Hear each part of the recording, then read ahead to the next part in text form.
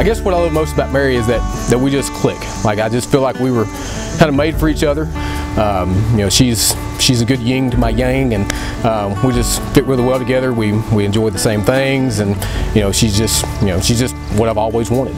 What I love most about Ryan is he is just so genuine. He's such a loyal person to his friends and in his business, and he is so funny. He makes me laugh all the time. I'm so excited to marry you. Uh, it's been a long time coming, and we've been through a whole lot of trials and tribulations with this wedding. But you know, the uh, the strongest steel usually goes through the, the hottest fire. So I'm really looking forward to spending my life with you, and and uh, can't wait to see what life has in store for us. I'm so excited, and I can't wait to see you. I miss you, and I'm ready to get married.